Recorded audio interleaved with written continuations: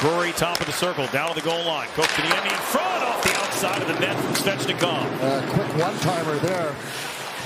Pageau got a piece of that pass, then got more of it. Here comes Holmstrom with Pageau.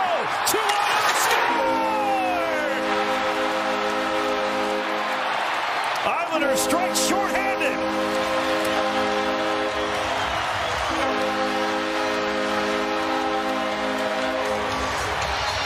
All starts with the Pageau play, Boyd.